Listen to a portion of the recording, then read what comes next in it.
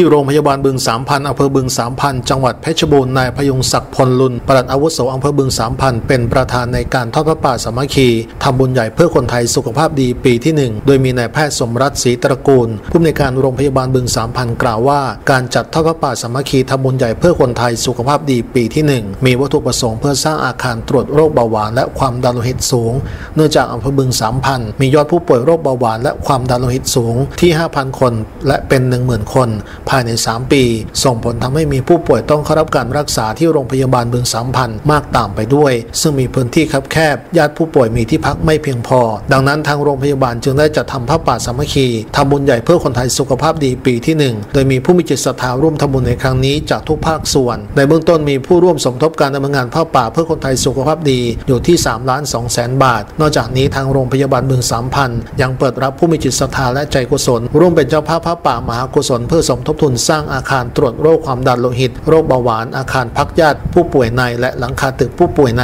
ชายหญิง โรงพยาบาลบึงสามพันในครั้งนี้ต่อไปด้วย โดยสามารถติดต่อได้ที่โรงพยาบาลบึงสามพันในวันและเวลาราชการ